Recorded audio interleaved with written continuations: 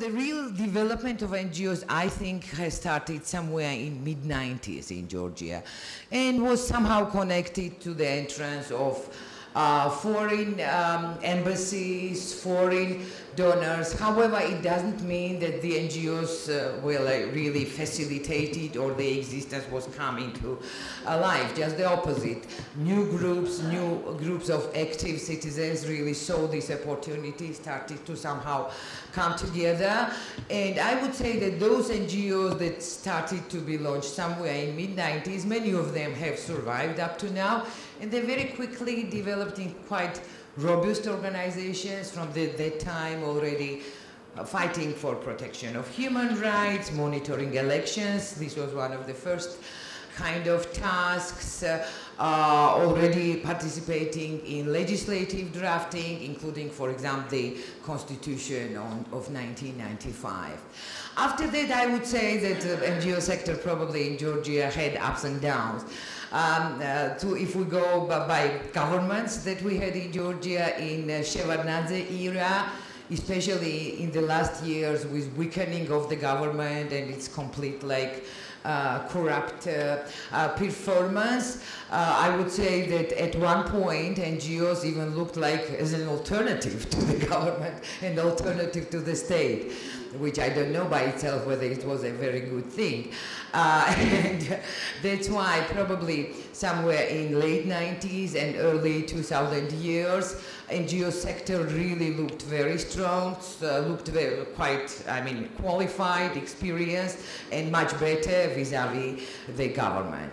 Um, and it happened so that in our um, uh, Rose Revolution of 2003, the NGO leaders actually played a very important role. Uh, uh, and uh, from what I remember and what we have seen, like and, especially in terms of revealing the uh, violations in the elections, actually being very active in the pre-election period, and then kind of mobilizing citizens to, uh, uh, Um, uh, I mean, uh, to uh, request changes after these rigged elections. And maybe they also somehow contributed to this, this change to be peaceful.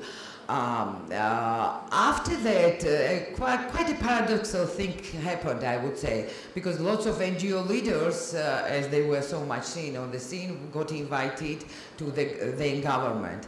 Uh, and many of the really active leaders uh, left um, uh, our sector, which by, by, itself weakened a bit uh, the NGO society. But uh, another paradox was that though the expectation, original expectation was that there would be like very active cooperation with the government kind uh, and like active involvement in policy formulation, it did not really happen uh, I don't know, maybe because the government was in a rush, which was already mentioned uh, yesterday, or maybe they uh, did, did respect so much those that were uh, remaining in the civil sector. No real cooperation has, happened. Probably there was an original like honeymoon for half a year, and then uh, things I started to be different. So uh, I would say that uh, uh, the kind of networks of NGOs did uh, get some significant blow, but they started to somehow uh, re reinvent and regenerate. Another strange thing is that from what I see, like reinvigoration of the Georgian NGOs, it's actually after the war of 2008 with Russia. And I remember Mr. Fukuyama yesterday talking that sometimes wars, unfortunately, they cause the I mean, uh, stronger nation building, they may probably also cause strengthening of the civil sector. At least that's what I think that has happened. Uh, first of all, through the days of the war itself, the NGOs turned out to be very ready to be involved in everyday, like humanitarian activities really on their own. And this was also the first time when we could see the citizens of Georgia being ready to volunteer, to volunteer, uh, yeah, maybe first time uh, in terms of not, not uh, expecting anything back, neither from donors, from, from NGOs, but just to volunteer and be involved in direct assistance to the refugees. Uh, and it also showed uh, this potential, potential of volunteers, potential of being ready to sacrifice uh, the time and energy um, to civil development. Um, afterwards, if we um, go kind of through years or periods, I do think, and some people may disagree, that uh, let's say in 2009 and 2010, um, the NGOs, and these were already coalitions of NGOs, played quite an important role during this standoff, and I mean the standoff between government and opposition, and real threats that it could be uh, degrading into chaos or into a civil unrest. Uh, uh, the, the, NGOs which tried to come together were calling both sides to refrain from violence, to uh, somehow, I mean, uh, get into negotiations. And uh, of course, there were other developments as well, which were important, but I think they did uh, contribute to the peaceful development in this period. And uh, finally, coming up to 2012, again, I think, I mean, uh, political parties tend to forget uh, that they always are happy with themselves be it now opposition now or our government. But uh, I think the NGOs and the strengths really contributed once again to the peaceful of change of power through elections, which many of our citizens were so happy yesterday mentioning like unfortunately we had the first uh, this type of uh, change of power only in 2012 not before. So i do think that uh, uh, georgia's civil sector has really contributed to this through, first of all, this, uh, I mean, quite vigorous campaigns, and probably many of you here remember this, It Affects You Too, which was calling, on the one hand, for improvement of electoral legislation, on the other hand, for uh, large outreach to media, uh, to protection of citizens uh, if they were somehow, I mean, politically abused. Mm, uh, now, uh, I would say we, went through another honeymoon, with another government. Uh, but things are uh, changing once again. At least we can see some signs of the things changing. If um, thinking about did um, uh, the civil sector in the past two years manage to get through its agenda, I think uh, they did. Uh, for example, we can talk about local government legislation, which the major contributors were again the NGOs. We can talk about another big campaign which asked to for curbing the covert surveillance, which again was initiated by NGOs and not met with great pleasure by the now new government. Uh, however, it was successful. Um, then we can speak about new media legislation. So I would say uh, the relations are never easy, neither with the government nor with opposition, but some successes can be achieved, especially when NGOs managed here to make coalitions. Unfortunately, we sometimes still need some international support, but the, I mean, uh, with the initiative growing from here and then gaining international support and support of international community, and some successes can be achieved. In terms of, uh, I don't know whether I have more time. Uh, of course, uh, we are not a very, absolutely perfect uh, sector or space. Of course, there are lots of um, challenges that we are all experiencing. Uh, if I don't have any more time, maybe I'll stop here, but then wait for questions. I'm sure people will want to hear more about challenges. Thank you.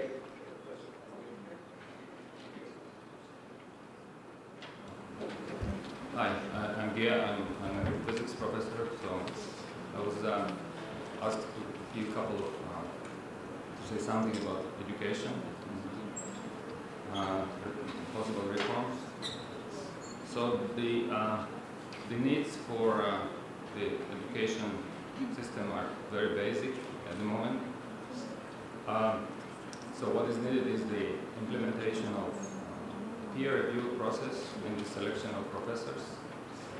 And uh, so professors must be selected through the international peer review process. And they must be given academic tenure. Otherwise, it's impossible to protect academic freedom, and therefore there is no academia without academic freedom. This is the uh, most urgent need for, for the reforms. Um, another thing is um, in the, the interaction between education and science, scientific research, uh, they are not separable. So therefore, universities and in general, uh, institutions, scientific institutions must be international research centers. So uh, there are several uh, so there are several postulates or axioms, or whatever you want to call them, uh, if you want to build a successful educational system, which are uh, which we cannot bypass. And, and, one of these is that you need a world-class uh, operation in research, scientific research, in-house. Now, this, of course, at the beginning, this cannot be in all the disciplines, but you cannot compromise the quality. It has to be a world-class operation. Um, this is another urgent need uh, for the successful reform. So basically, these are two pillars that uh, uh, are necessary for building uh, on top of this uh, a successful system of education and scientific research based on academic freedom and protected by academic tenure. Uh, the example, I can give you an example of the international uh, world-class operation. One example is uh, uh, conducted by, by my colleague here, and that Dr. Manidze about the, the, the, in general about uh, study, anthropological studies, but in the context of bigger, in the bigger context, if you go into the museums, and there are a number of very important reforms that have been done there. It's, uh, it's, it's very encouraging, but, but we need this type of operations in the other disciplines. And this is extremely important. Um, okay, basically I can stop here and then, I don't know, we can take questions. But these are the, the very basic things. Without implementing this, we cannot do anything successful in the educational system. Uh, it simply will not work. That's it.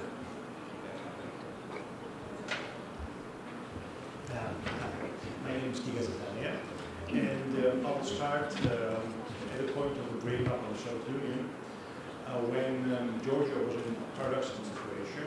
At that point, it was, uh, I would say, part of an industrialized country. We've developed scientific and education infrastructure, but you could not really say it was a modern country.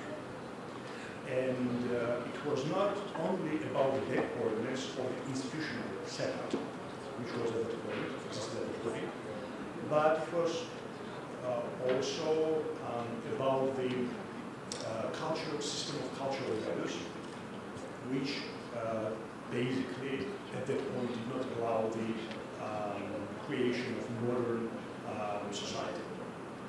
And uh, one could say that during this last quarter of a century, in Georgia we have observed two parallel movements. First movement was kind of the opening of the country, or let's say modernizing the country, or perhaps in the social, cultural, most liberalizing the country. and parallel to that, there was backlash, uh, which led to the process which I am not, not having a better term called retraditionalization of society. And by that I mean not just going back to the traditions, but actually inventing uh, traditions which are sometimes very archaic, uh, values and practices uh, which uh, go, don't go back to the decades, they should go back to the uh, centuries. So these two processes, um, and till today, go almost hand in hand. And I would argue that this process of retraditionalization draws its strength from the modernization impetus, so to say, and that's why it's very hard to stop one without stopping the other. And uh, you know, I would, one of the major signs for that, uh, I would see in the uh, unheard of revival of religion in this country. In revival of religiosity uh, was a quite um, natural reaction after the fall of the Soviet Union in almost all the countries, but what happened and what is still happening in Georgia is still unprecedented if we compare it to the neighboring countries from the region like Armenia, Azerbaijan, Russia, etc. Um, in Georgia, religiosity has reached um, unexpected heights, and one could say that one of the examples is the very high correlation between youth, the youth, and religiosity. And normally one expects that the church is the place of the old people, but if you go to uh, Georgian churches, you will see that there are so many young people. It's very um, atypical uh, for religiosity around the world. Actually, by social by um, social science surveys, it is confirmed that um, younger generation, in many ways, is more religious than the older. So this is also linked with this movement of ritualization I was talking about. Now, um, in this context, where do science and education come into play? I will uh, go a little bit philosophical and I will say that, that's a risky statement, that democracy implies a um, uh, priority of immanence. So basically, democratic society cannot be and is never founded on the transcendent principle. Because citizens of a democratic country, democratic society, should understand that their action matters.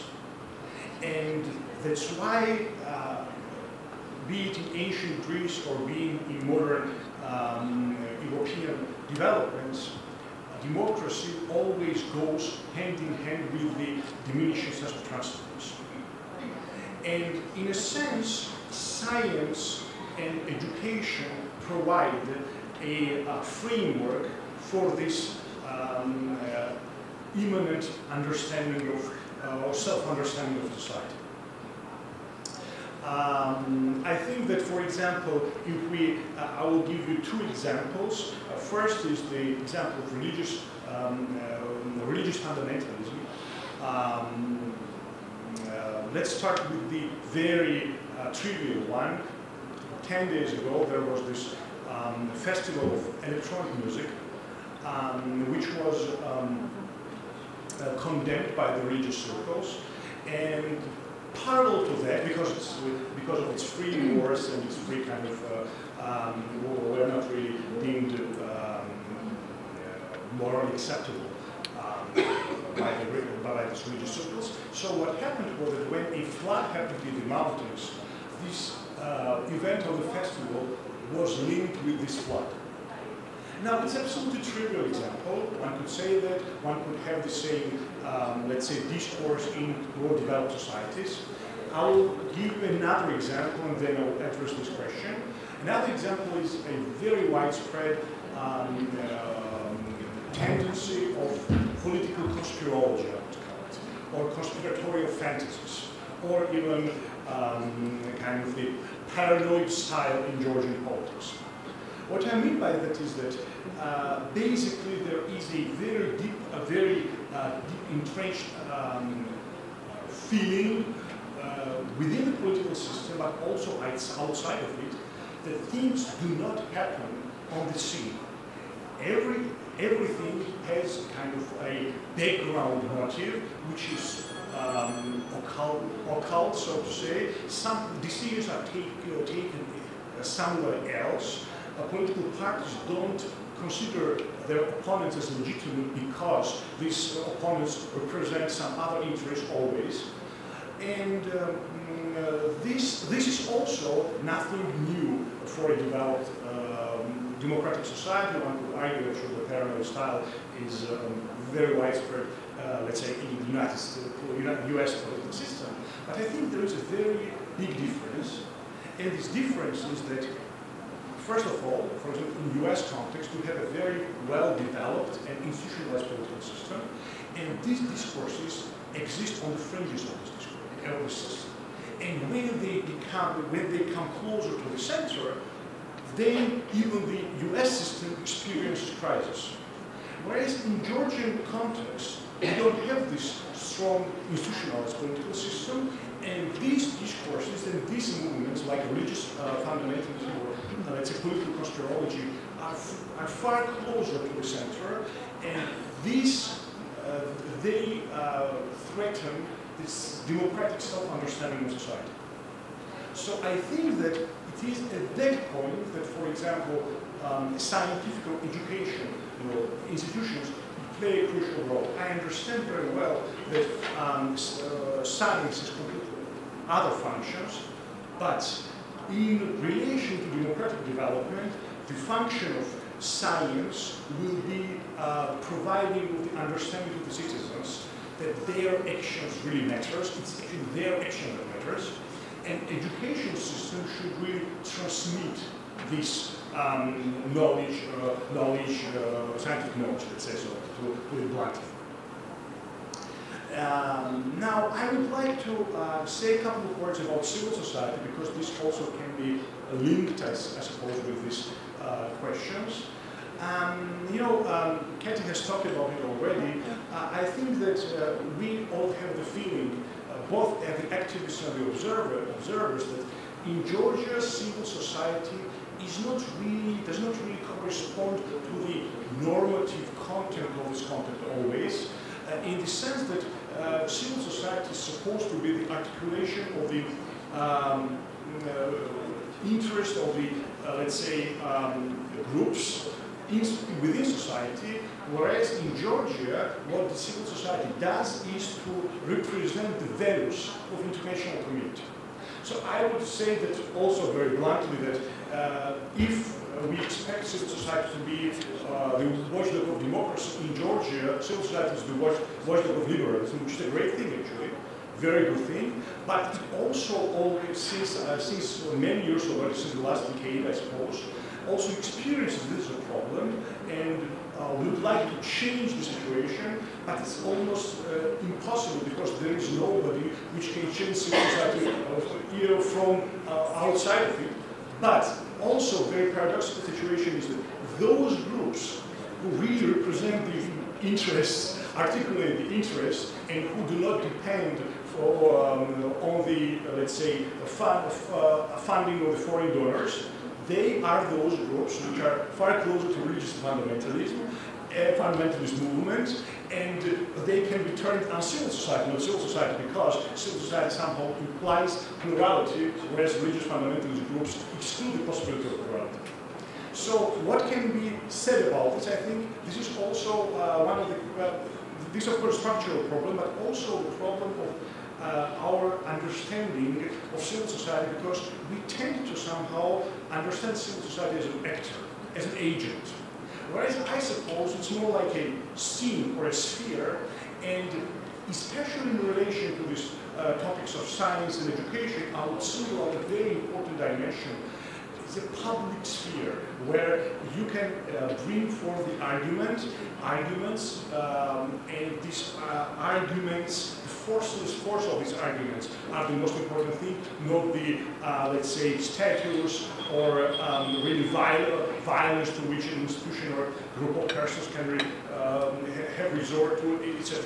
So I think that what at this point uh, in Georgian societies uh, groping or let's say looking after seeking is more like the public sphere in which this um, forceless force of the argument could be institutionalized. And I suppose that at, at this uh, we have some progress, especially um, perhaps after appearance of this online media, etc., which have really transformed um, uh, societal discussions quite radically. So I think that uh, this would be kind of the short outline of how, how uh, these uh, three topics can be linked to the development of democratic society, and then uh, if there will be questions, I'll have to ask.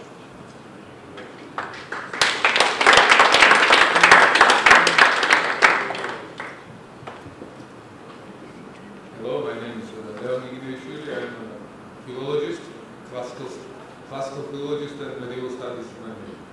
So today I'll speak uh, about uh, humanities as an important, sphere for civic society, society of citizens. As was mentioned yesterday several times, democracy is an ongoing effort to keep it, to stand in front of a difficult reality and live this difficulty, face complexity, take risks, make responsible uh, steps, live freedom. Freedom is not carefreeness or carelessness, but an ongoing intellectual effort of identifying different choices and making conscious and conscientious decisions. Now, such an attitude requires a specific state of mind, a specific modus of life that is not given, but elaborated and cultivated through education. I mean here primarily humanitarian education. Humanities deal with formation of a mindset that posits most important and fundamental questions of questions to reality and life. Rather than, uh, rather seeking to say Max Frisch, uh, to, to, utilize Max, Max Frisch uh, saying pursuit of level of life, the humanities uh, make us think about the meaning of life, the, what is sense of life. So it's questions about human destiny and human value, ultimate questions about it. That's what humanity is all about. Only through rubbing with those questions is formed human conscience. Conscience does not grow like a bear. Is elaborated through education. It's, a, it's formed in a thinking process. All that has bearing on healthy civil society, or better, society of citizens. Unless human value is discovered and cultivated, other values will take its place. According to logic, that holy place is never empty. So uh, it's impossible to, because it's impossible to live valueless life. We need values. Thus, without a certain neck towards solitude and thinking about meaning of life, self-reflection, and critical investigation of the ideas coming and going in us, human is doomed to follow different inertia of passions or ideological schemes that may cement those passions. About solitude, I like very much this uh, verse by William Butler Yeats. He says this phrase, How can they know truth flourishes where the student's lamp has shone, and they alone that have no solitude? Now, democracy and society of citizens requires a critical mass of such responsible and conscientious people who dare to think for themselves, make decisions for themselves, and communicate to others whatever they discover. Unless such people are formed, we can have different forms of autocracies and even tyrannies, now already in guise or under mask of democracy. Previous Soviet educational system as a whole was thoroughly ideologized. Even sport. For instance, I was a tennis player in my adolescent years and I had a tennis textbook, Soviet tennis textbook, and on the preface was written that the aim of a Soviet co coach is to rise a good communist citizen.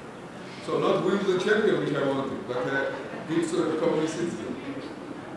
Of course, they were wonderful and thought-provoking teachers, but they were at odds with the system. They were such with their personal initiative or inspiration. However, usually the system consisted of the principle of, to use this Soviet movie, uh, let's live to the let's live up to the Monday, like principle of two F's: find out and flatter. So uh, in Russian, it's угадать угодить. So you should find out what is desirable for teacher or, or system, and then you have to flatter it. So as if there existed already a ready-made structure of value, and all you need is to conform to it. In principle, democratic civil society denies such a ready-made structure, structure of value. However, without the formation of a specific character through education, democratic procedure, pro, procedure of democracy, like formal procedure of democracy per se, will avail for nothing. We have get again, we, we will get again people lazy to, to form their own ideas, their own structures of value, and people who are ready to follow others. Infantilism, a dangerous infantilism.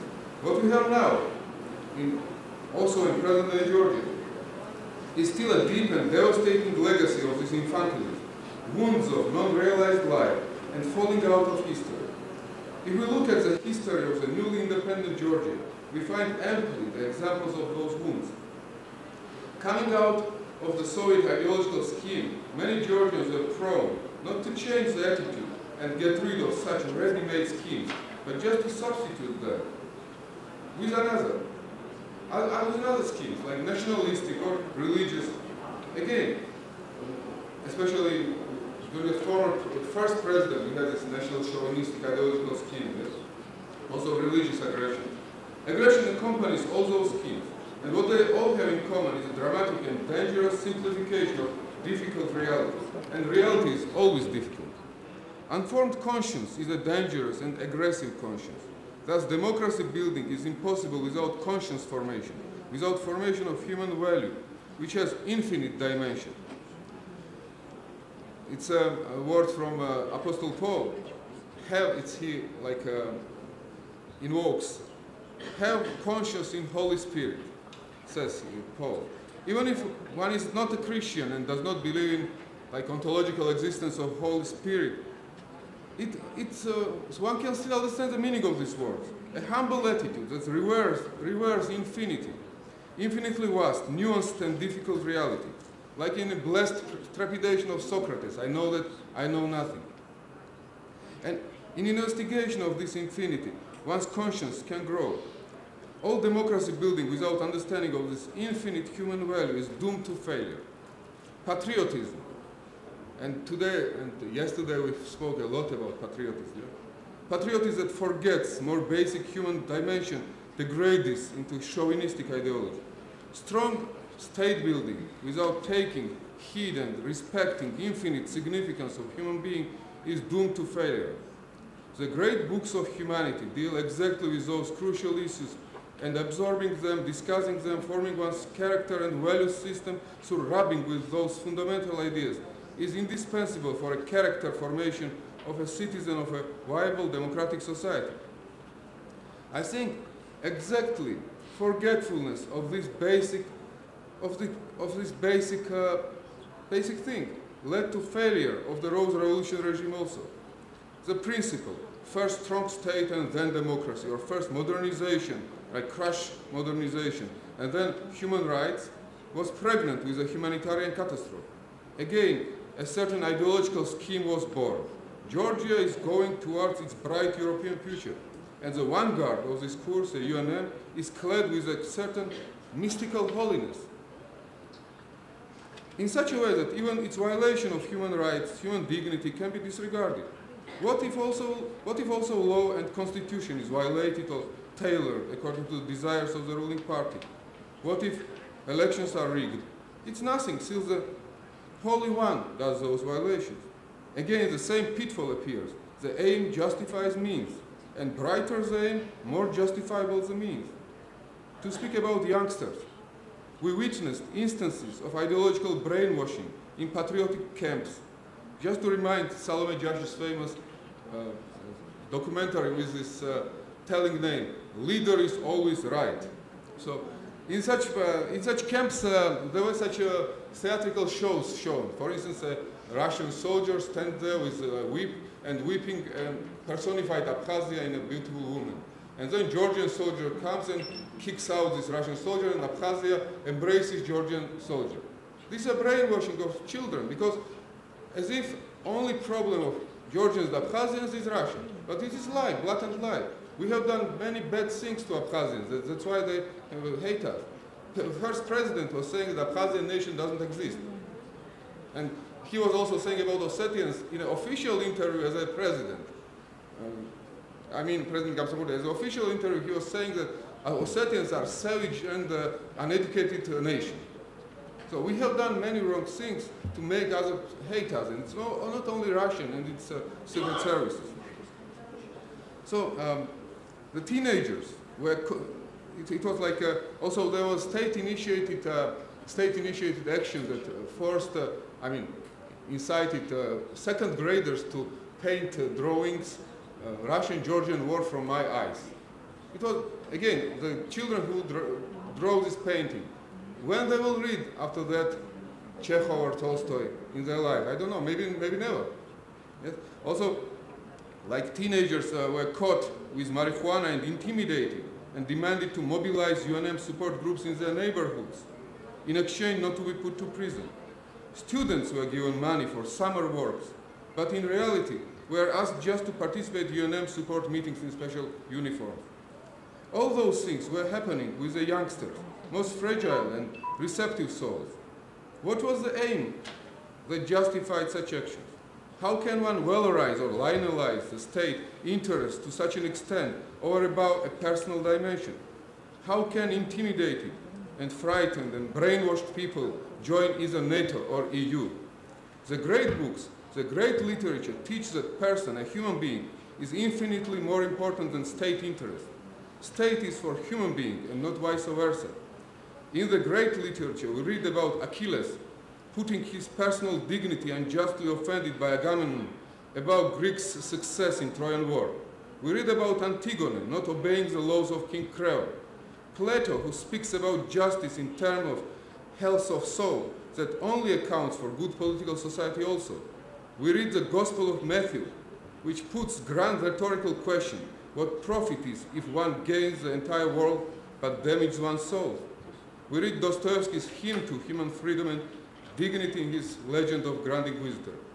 Those and many others are the texts that are indispensable for building good characters, without whom no healthy democracy can exist.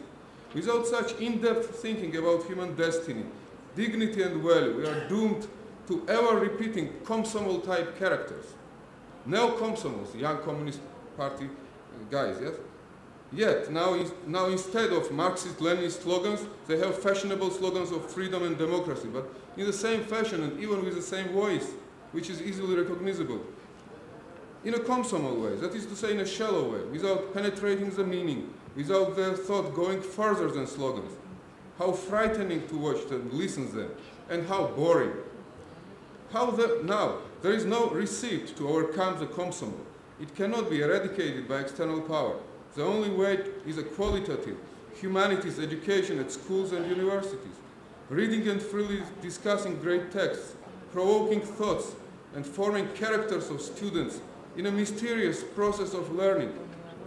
Perhaps for that reason, any state, if it wants to make a long investment into democratic development, should first of all invest into education, and most importantly, humanities education, both at school and university levels. At least according to Plato's Republic, the most important among ministers is the Minister of Education.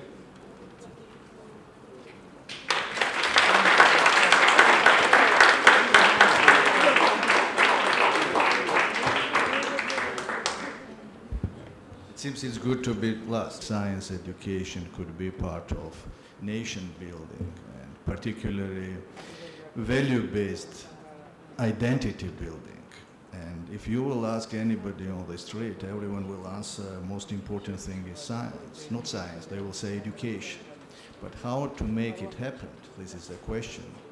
And I think we should speak and look further how we could achieve that education and science is positioned in society as a very high level. And people on the street will understand that it's not privilege of one elite group because very often science is considered as a privilege of one pontificating group, which are some club like Academia, Academy of Science or like this. And uh, I'm sure there is no other remedy having to develop education without having science. And I agree with my friend Gia Dvali that you should have high quality of science, let's say high end of science. And to get high end of science, Georgia has chance. I, I'm fully convinced on it. But when we are talking about development of education and role of education in uh, society, we're using two elements. We are mostly talking, or government or state talks about school system and university system. But there are other parts of this chain. This is a high end, which is a high level science. Without it, impossible education, as well as public education, which is grassroots part. And I would say that this part is maybe most important today to develop science education, public education. And I would add uh, not just STEAM, science, technology, and mathematics, I will synergize it with art and in our case, in Georgia, in small country, country with really rich heritage, and it's not just uh, slogans which I'm saying. Georgian heritage has uh, international importance for research. And this synergy could be very strongly used as a tool, as a tool to develop society. I agree with many, many points you mentioned about problems, but I don't think we should complain about problems. We should find solutions. And uh, I would say best antidote for the all fundamental issues are public education and finding balance. And to do it, we need institutions. And to create institutions in a transitional democratic country, it's not easy, particularly cultural institutions. It's very rare, I would say. And I'm happy to say Georgian government was has the courage to start it. I would say, I could say on the example of institution which I'm leading, Georgian National Museum, it's uh, not just museum, which we all knew, the dusty place, you know. This is an institution which has a role to be very active, first of all, in public outreach. I would say number one issue in our case, beside of course create high end of the science, and I agree with Gia, there could not be any compromise when we call it real science, is this development of this uh, outreach of science and knowledge and of course art. All this, this synergy could create, create creativity and imagination. And when we are talking role of humanities, I completely agree. But success could be if humanities could be synergized with natural sciences. And it's not me who said it, it starts from Leonardo, right? So all big successful cases were synergy between art and science. So what my point is, we tr should try to use and not to, to think that it's wasting of time to spread values with cases. And I think these uh, cultural institutions, it will be either museum, either it will be theater or cinema, should be multifunctional. If they are multifunctional and we have opportunities to spread really from real grassroots, from the beginning of the what are the knowledge and values, I think this will be best solution. Because you know, if we will complain all the time that how strong is fundamentalist, we're Orthodox country. is a reality. We should learn to respect faith, but same time put knowledge. And I think uh, the, I could say one small example which we work together. I am very happy to say that many people were participating in different governments to create museum in Svaneti, in Mestia, which we will finalize this October, And you will see this is a final case of strong cultural educational institution, institute outside of Tbilisi with the role of the bring people together and to show respect to faith, but same time bring knowledge. Science and religious should be together in our case. We should learn it. If we will not learn it, then fundamentalists will win.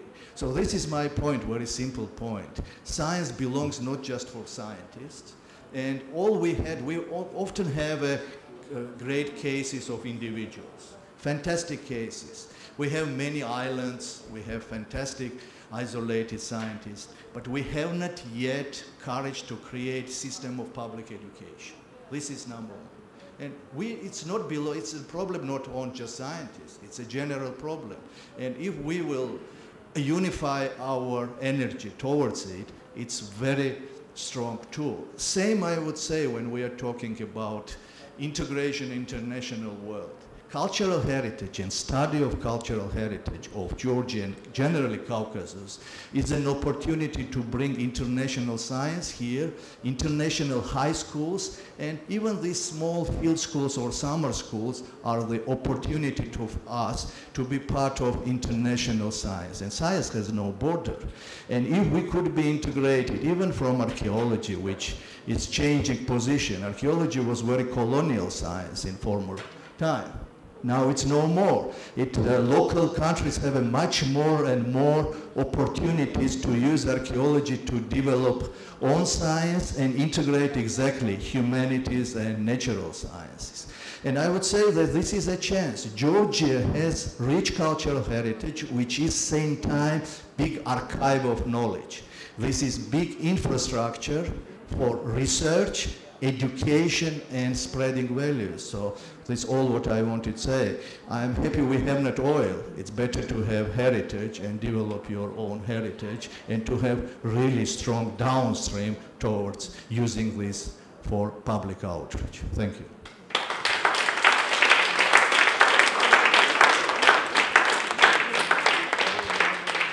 Okay, so I'd like to thank the speakers. I'm having a little trouble getting my mind around the different threads that uh, the five speakers have uh, uh, uh, presented here. Um, I would point out to the rector that we're actually, Eric Jensen and I are going to be at uh, your university at 5 o'clock this afternoon, and we're actually going to be addressing many of the topics that you mentioned. And I, in particular, I'm going to talk about this, the question of uh, religion and civil society, and I think um, Dr. Jensen will also uh, uh, weigh in on this, so there'll be another opportunity. On the question of education, I'm very sympathetic to all of these debates, although it does seem to me we've heard some very different emphases, and I'm not sure that I hear consensus really about what, what the agenda, uh, especially for, for um, Georgia, is because you can pursue hard science, you can pursue uh, a liberal education uh, and humanities, you can pursue, um, you know, a more culturally specific uh, agenda, uh, but those are, you know, they're different, and and uh, there are very few societies that manage to do all of them simultaneously um, uh, well. So I think we've got a lot of choices, uh, you know, that have been put uh, put in front of us. So I'm not going to express my opinion on that. I'm going to throw the throw it open to uh, comments from the floor. Yes, uh, this lady in the front.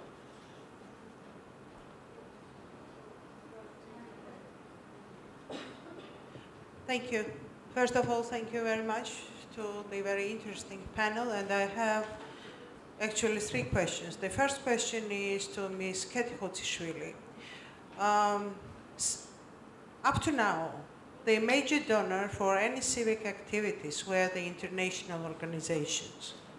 So it's, it's somehow the trend to believe that we do not generate our own agenda. However, the own agenda exists, but we have to respond more or less to that what the international organizations are, how to say, funding. So my question, and it's not about that it's good or bad, because I can for certainly say that about the gender equality, if not the international donors, there won't be anything. And I strongly support that. So my question is very simple. How do you think that there is a quite a coalition of the powerful NGOs? Do you have on the agenda to develop spatial policy, to make our own people somehow to think about and generate the funds that will be used for the, let's say, civil development. So this another question is to all distinguished uh, panelists, and it's about the education and development. We want or not, we are the developing country, and there is a lot of, let's say, indicators that are debatable in developmental studies. However, the one of them, education, is not questioned. So my question is, uh, so I will make the small comment. Yesterday, the last panel were the economists discussing uh, two issues. First of all, about the qualified labor force that our education is not preparing at all, either on the vocational level or the higher education level. So Bank of Georgia is one good example. They created their own institute to train the qualified staff in the finance business. So my question is, how do you consider what are the main challenges of the education or reforming the education system in a way just to support development and build the modern society? And the third comment or question, thank you very much, Professor Gigineishvili. You put absolutely right accent that without the critical thinking citizens, we won't build any democracy. My question is very simple. It's quite an expensive, let's say, endeavor How do you think we can change or modify the existing higher education system just to somehow respond to that goal? Thank you. So I, I forgot to introduce myself, but I think that it's okay. It was quite a few questions. Maybe why don't we respond to that uh, before we go on? Uh, um, thank you, Marina. Actually, when I mentioned I didn't have time to talk about challenges, of course, one of the major challenges which now, uh, once again, in a narrow uh, sense, the civil society, which I mean now the NGO sector is experiencing, is uh, dependence still, after 20 years, dependence on the foreign funding. And I would not say that uh, the agenda is always uh, completely defined by the donors because very often now the NGOs themselves are proposing the agenda. However, I mean, of course, there is this kind of donor-driven activities as well. Uh, this is, uh, I guess, pretty well understood by NGOs, and there are attempts now to somehow facilitate local philanthropy. It does not move easily. There is now a coalition of NGOs uh, led by TASO, which we probably know, the, um, the Fund for Women, who have developed already their piece of legislation. They have already submitted it to the parliament and this, there is this process of advocacy. Of course, the legislation is never enough. We need our local businesses to start to understand the values of civil society. I mean, I wouldn't say that local businesses are not involved at all in philanthropy, but I would say it's more charity than philanthropy. So this move to come somehow kind of push them from direct charity towards philanthropy and better understanding the, the value of the civil society. Uh, I hope this will be happening in the upcoming one or two years. Uh, in addition, I mean, the problem of uh, current NGOs still is a membership base, so they really don't have funding coming from their members. Uh, they also still have problem in terms of volunteering and better outreach towards public because public could also contribute by, by, by their volunteering. So there are a number of challenges. I think there is understanding of these challenges in the civil society in terms of solving all these issues. It's, uh, it may still need, need, time, but I hope this will have, be happening sooner than later. Did I answer your question?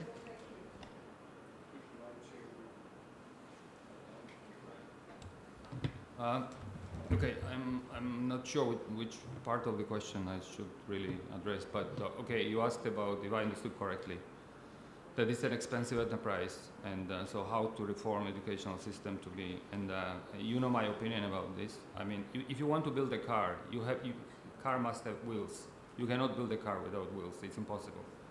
So to build a uh, successful university system without peer review process and academic tenure is impossible. It will not work, and that's what we are witnessing. So it's as simple as that. I mean, all this philanthropy and money and, and, and donors and this kind of stuff is extremely nice, but if you don't have a system that works, it will not work. Okay, it will be waste of money and waste of time. So this is, uh, to me, it's a very simple approach. First, you need some basic rules. There are axioms that you cannot bypass. You cannot have university system, because most important people in university are professors and students. You need high quality professors.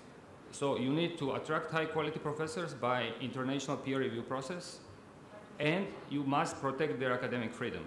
And academic tenure is the main thing in protecting academic freedom. Without this, it will not work. You will not attract good professors, and they will not be protected. If they come, the, of course, there will be exceptions. I mean, you may, once in a while, you may attract somebody high quality, but they will not be protected, and to protect academic freedom is crucial.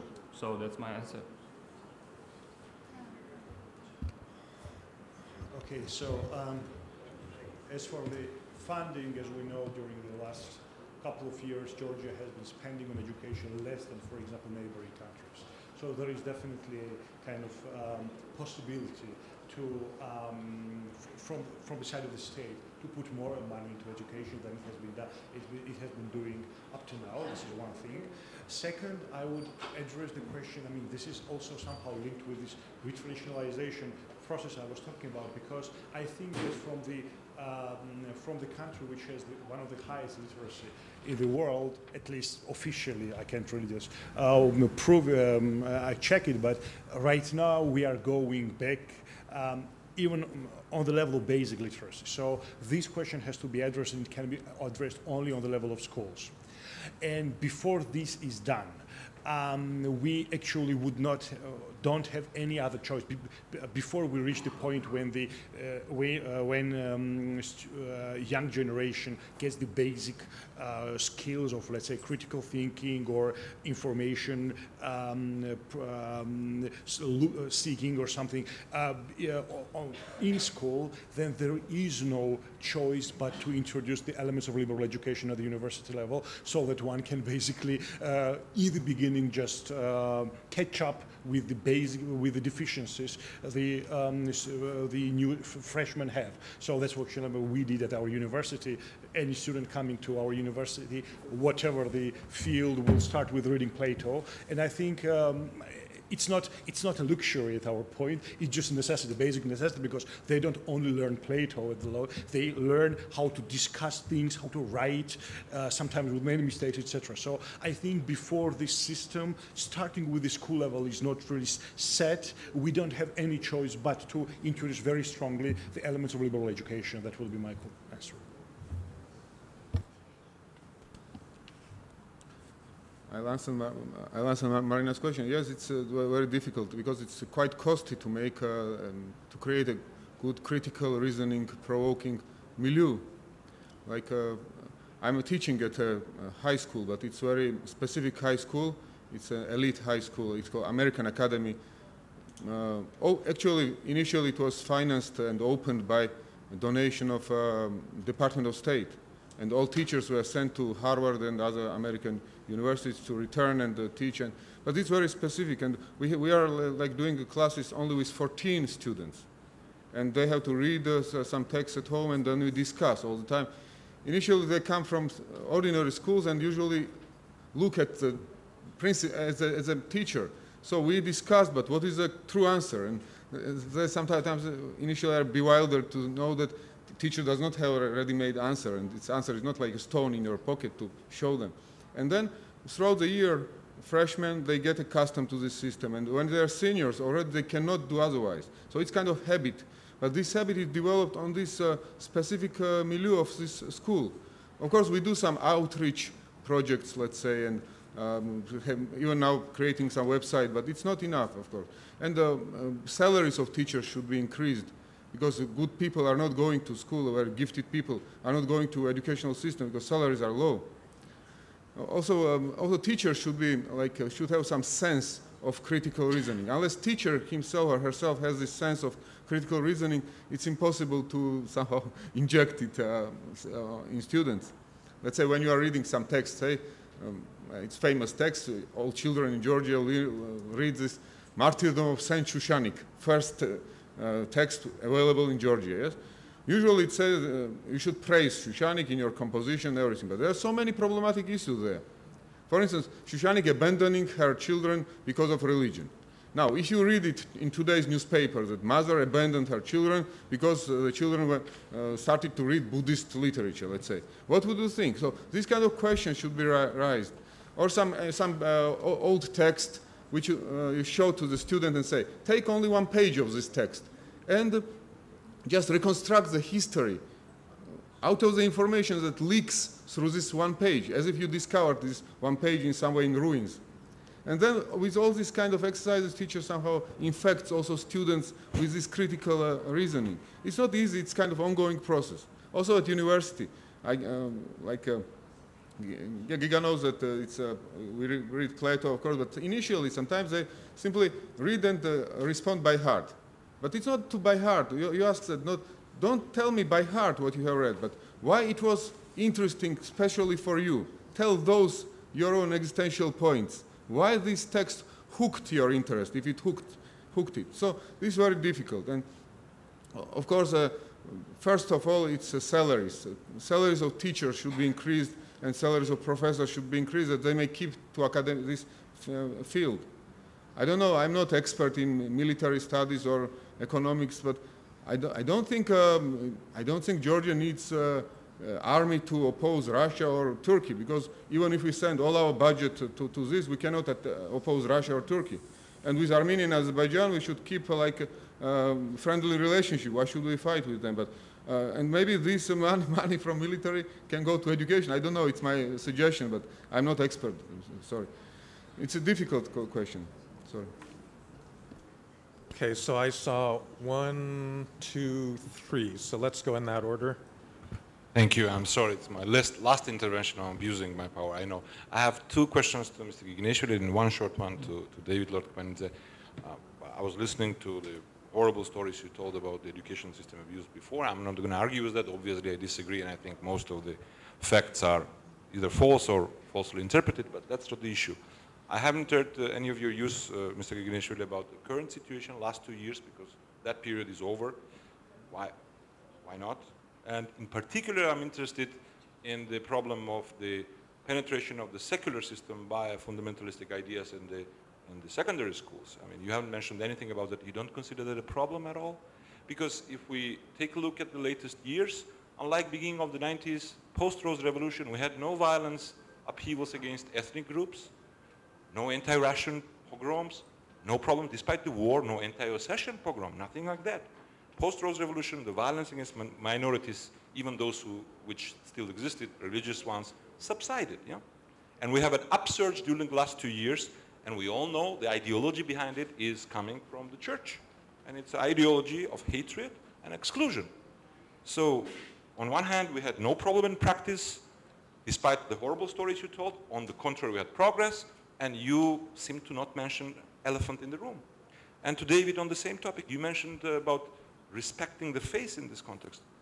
I'm really interested what you actually mean, because the uh, dispute here is about ideology of hatred, no, anti-secularism, no, and medieval thinking of not considering a human being a human being if he's representing sexual minorities. That's the dispute in our society. That's where the uh, fight is going on. Nobody is rejecting the right of respect of face to Orthodox Christians in Georgia. This is a non-existent problem. This is an excuse to justify violence against minorities. So uh, elaborate, uh, please. Yeah, I think it was not. It was not so clear what I mentioned. This was when I mentioned Svaneti Museum some people here, I think Nika knows, it was not easy to convince this problem how to settle religious object. And when you showed very clearly that you are, have respect of it, I mean professional respect, I mean. I mean that when they are all well handled, well restored, well presented, this was my point. That where you should find, because there were some people opposing it, so we showed professionally that we have respect, but we are professionally strong enough to keep it on the right way. This was my point. And concerning values and what you mentioned, medieval, I don't think anybody in this room uh, supports ideas to stay in medieval time. I simply more presented that in our goal and institutions like national institution is to spread values, knowledge, and to find these antidotes against it. This was my point. So. So uh, you, you said that we, we, there is an elephant in the room and we, we are trying not to notice it, but uh, actually this is... No, no, but no, but it's very, very. This uh, the, uh, your question is very, very good. Actually, the, I, I, thank you for this question because the uh, sometimes the elephant is not really visible. This is what I was trying to address also in my uh, comment, because when there is a problem in the top of the education system, university, the problem propagates down, and all these issues that appear down somewhere are, to me, are the result of this. So the elephant for me is precisely the elite education system, which is in severe trouble. And unless we fix it, I don't think this fixing uh, bottom will, will work. That's, that's my point. So precisely I was trying to address the elephant in the room, and I fully agree with David. He's also trying to address elephant in the room in, from the different angle. But uh, yeah, that's a very good question, actually, yes.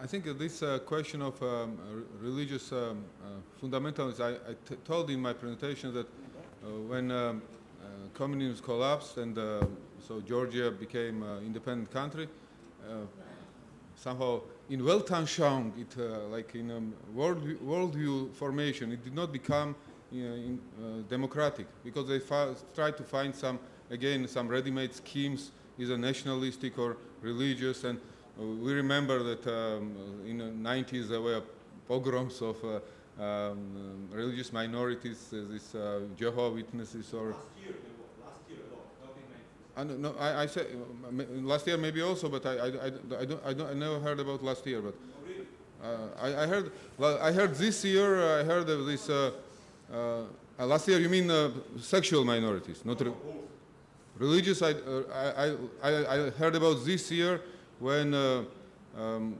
parents, Orthodox Parents Union went to Hanukkah, yes? Hanukkah, yeah. I'm talking about beatings up of people in the villages, without any punishment. Uh -huh. weeks and weeks. promotion of officials who organize Sorry. Uh, okay, I, I, I, am speaking about uh, what, what I clearly know that Hanukkah, um, Hanukkah was uh, organized, Hanukkah celebration, and this, uh, they're radical Orthodox groups, yes. These radical Orthodox groups were in 90s, they are also now. And uh, we have to fight against it, cope, somehow cope with it. If we, we have to, of course, uh, uh, use a very strong fist of law against all these, all these violations. But it's more important to, how to say, to address it intellectually, to speak with them about Christianity in critical reasoning terms. Because Orthodox Christianity, if you, if you look at its core, at its core, it cannot be non-critical because it is based on church councils.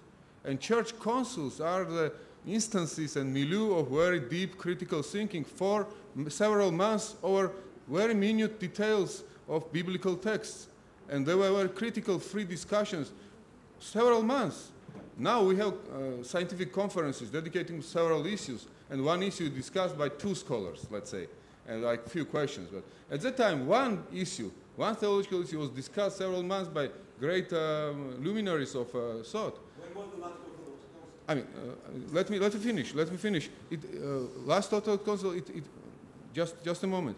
When there cannot be Orthodox Council, but thought, theological thought develops and it develops ongoingly. And the great luminaries of uh, theological thought in Latin West, in Catholic Church, or in Orthodox Church, or in Protestant Church, it's ongoing development. And all these people who, who how to say, think that they go to liturgy, re, uh, listen this gospel in very ancient language they don't understand, absorb some kind of uh, feeling, they think that they are good Christians. But you should think about, uh, speak to them. Do you really understand this text? Do you really understand this old Georgian? Do you know the church history? Do you know this? And you should introduce this in a native way for them, this critical reasoning. And not to say that you are dark, you are nothing, but just to show them that it is in your tradition the critical reasoning. And it's, uh, that's very important, not to lose these people. Because as Apostle Paul says that those Jews who did not uh, receive Christ, they're good people. They have ardency, they have this uh, zeal, and this zeal is good, but they don't have this zeal according to intellect, he says. So maybe these people, many of those people are good people in their zeal through something good, but they don't know what is really good. And you have to explain it through the, their very native church history. And it's possible. I have spoken with many of such, not many, but few of such, and they're, they're uh, listening, if you know church history very well. And I, uh, somehow it happens that I know it very well because I studied it five years in Budapest. So I, I think that that's important to introduce critical reasoning in church. For instance, I give all the time this example to my students. You say that St. John Chrysostom is buried in, buried in Comana in Abkhazia. Okay. And uh, the Greeks say that St. John Chrysostom is buried in Komana in Asia Minor. Now, you say that we are correct because Georgian Holy Church is holy tradition. But you can put a question. Greek church tradition also is similarly holy tradition. Then you take erase this dimension of holy from this discourse. And what remains? Remains textual study, remains going to library, historical uh, sources and everything. You are, you are doomed to critical reason, yes? with all this exercise, with all this discourse, you are introducing this critical reasoning within these minds which seem to be impenetrable. And that's very important, not to lose these people. Any results? Yes, there are results, of course. Yeah, but not, not of course, it's, it's, it's so difficult. You don't have ready-made results. And sometimes these results are not immediate. They may somehow sprout in the uh, long run, in the time to pass. But it is a thing to be done, and not to exorcise those people as uh, some uh, demons. Of course, they, they are doing big violences, and I, I remember once uh, when there was this, uh, uh, when they cracked down this uh, anti-homophobic meeting in last year, I, I, I want, in TV I said that I'm ready to talk with all those guys to say that Christianity cannot be this chair hitting on a bus or something. And, and then one priest called me and uh, I want to meet you. And we spoke. Of course, we didn't agree about um, uh, some things, um, about some basic things. He said that, uh, oh, I, if my conscience says that I can uh, uh, defend it, I can even violate police. I said, no, here you stop. You don't violate police. Even in Bible it is written, Paul says, P Apostle Paul says, Apostle P Peter says that you should, should obey civil authorities. And at that, that time it was even pagan civil authorities. So here, but we spoke at least, yes? And he had my ideas. So it's important to speak. But uh, so uh, I think that's, that's, a, that's a point that uh, critical reasoning should be introduced with a big doses in Orthodox Church. And not to say that Orthodox Church is dark, and those people are dark. That's my question, my answer. Okay. All right, we're um, we're uh, getting, uh, uh, getting towards lunch, so there's a question here and a question in the front. So let's take both of these uh, before uh, the panel answers. Actually, my question was partly answered by Mr. Zedania, but when I raised my hand, he hadn't spoken, so, but I'll, I'll repeat it again. We're talking about uh, improving university level education, but uh, how could that be done? How could that kind of reform be successful without reforming school system? And there was talking about uh, critical reasoning, uh, other skills that uh, chil children, school children should have. And those, uh, uh, you know, disciplines are not introduced within our school system. There is no research skills taught. There are no discussion, and maybe in some, uh, you know, experimental schools, some elite schools, as uh, one of your panelists said. But on general level, in uh, especially in the regions, nothing like that happens. And uh, when uh, there was talking about quality professors, how could the quality professors change anything when uh, we, we don't have quality students, I mean, at, at, the, at the general level, you know, because schools, in my opinion, are the places where the personal character is built, the very foundation of uh, human being is built. On uh, professional level, at the university levels, we just learn professions. So the, without that kind of foundation, without school reform, I think, which was addressed uh, partly by uh, panelists, there will be no uh, no reason. I mean, we'll be basically putting uh, cart before the horse. So I think uh, I would like to hear, you know, uh, responses from Mr. Dvali and Zedania about it. Thank you. I have, I have very, very similar question to what Nick just asked. So um, I would gladly listen to Mr. Dvali and Zedania on this. I think okay. that, that that is the much more sophisticated and much more uh, uh, interesting ways how to improve school uh, education rather than just abolishing army and moving all this budget to the education. Yeah, thanks. Th thanks very much for this question. It's, indeed, it's an important question. I, have heard this question many times. And I know that there is an opinion that unless you reform, you start from the reforming the school system, you cannot reform university system. And I think that this is a big misconception because actually it's the other way around. The reason is that there are many reasons, but okay, we don't have time to discuss all of them. But for example, school system is much more ex extensive and much more general, okay? It's massive. So to reform school system, you need high quality teachers. To reform university system, you can start with high quality, you can concentrate your effort and build a high quality university system. Why? Because university system, by definition, is sort of elite. And therefore, and without having good university system, you cannot train teachers. You see, teachers must be trained in academia. This is extremely important. You cannot substitute teacher training. Of course, trainings are very good. Nobody disputes that we have to reform school system. This has to be a parallel process. You have to have you have to introduce science in schools. By, by, for example, science museum would be one of the fantastic things to do that. I mean, very close interaction between science and, in general, uh, creativity, so all these creativity activities in schools. Nobody disputes that the, the salaries of teachers should go up, etc., etc. But uh, university is crucial because university you need to create academic atmosphere. It's extremely hard to create academic atmosphere in schools without having very high academic atmosphere in universities. Okay, so that's my, that would be my answer. Okay. Um, well, I think um, it, it, wouldn't be really fruitful to, to look for the turtle on which everything rests, so to say, right? So because you cannot really find one foundation for everything. If you want to reform the education system, you should reform uh, both the school system and university system because you cannot really, I mean, even if, if you prepare teachers, then they should have the place to go and to kind of call teachers and to kind of uh, uh, find jobs. So basically, you need everything. I, I would, what I can, sorry?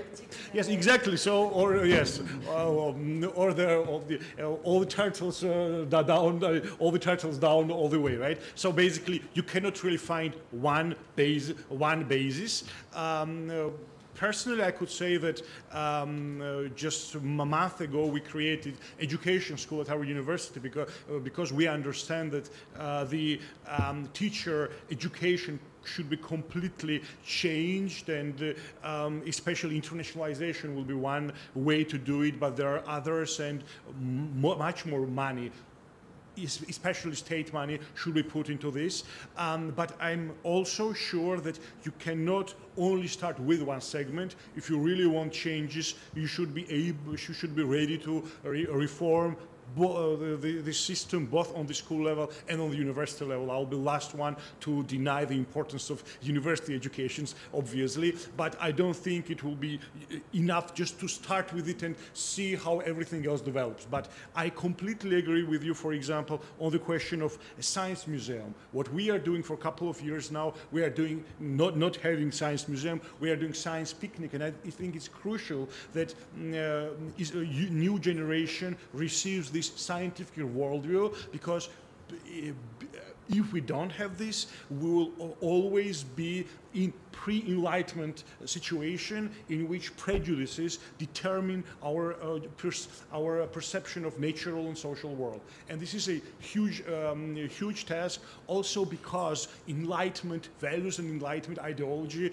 is no longer so popular around the world. I understand this very well. And it's a little bit paradoxical to go back to this tradition which seems to be so much questioned um, elsewhere. But I think this is also one of the um, kind of uh, challenges for our postmodern world to defend some modern values because I think that uh, throwing them uh, away uh, would be complete. I don't know what will happen in other part in more developed parts of the world but in, in, our part of the world, it would be just a catastrophe. So I think that uh, we definitely need to uh, think about some kind of new enlightenment as an idea and think about the institutions which would embody then this new enlightenment, uh, which would give to the human beings the understanding they are agents which do not create, of course, history as, the, their own will, but they still can um, affect something that their action matters. Yes. Does anyone else want to make any final comments? No? Okay. Oh, all right, please. Okay. Just one phrase, not very serious. Listening yesterday and today to our fellow speakers, I had a feeling maybe we are already close to Plato's dream because we had a president philosopher, we have the rector's philosopher, so maybe they are already running the country. so we will see because usually we are very skeptical, but maybe we should have some hopes. Well, actually, it started in the 90s already, and it didn't have any effect. So that, at that point, I'll be very skeptical. Yeah. Okay, well, I'd just like to say that uh, the debates that you're having here are very familiar ones. I'd say in the United States, um, you know, th- there's a there's a really big conflict, I think, between the demands of the general critical thinking, liberal, humanistic education that's been traditional in many Western countries, and these economic imperatives that uh, were discussed in the last panel yesterday, where it's all math, science, technology. Uh, at Stanford, if you want a humanistic education, well, I, don't quote me on this, but I wouldn't go to Stanford.